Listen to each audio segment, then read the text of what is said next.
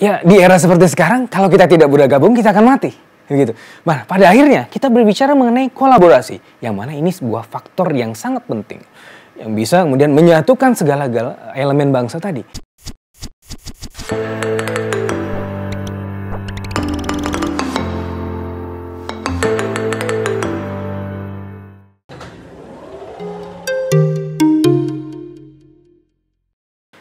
Revolusi industri 4.0 ini seperti pedang bermata dua.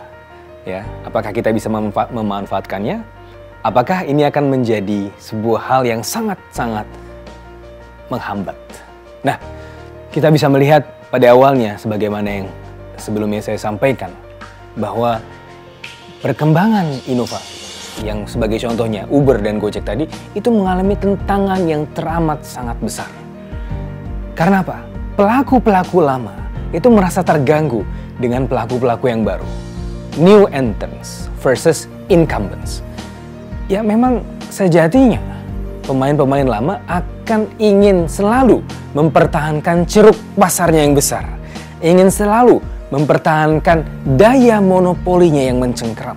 Ini yang kemudian mereka selalu pertahankan.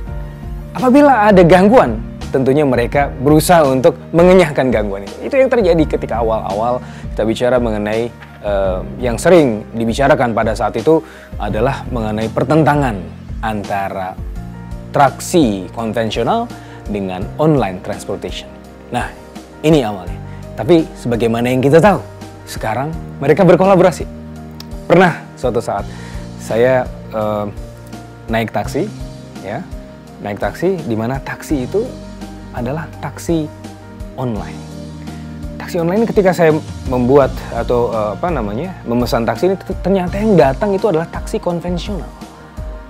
Saya tanya kemudian kepada bapak taksi ini, uh, sejak kapan bergabung dengan uh, operator online? Wah kita sudah menurut supir taksi ini kita sudah selama setahun terakhir kita sudah bergabung.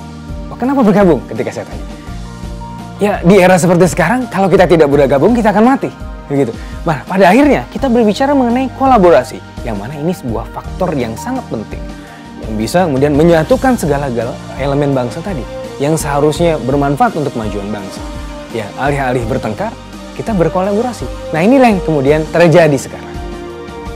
STM Indonesia untuk menghadapi revolusi industri 4.0 tentunya harus segera berbenah karena apa?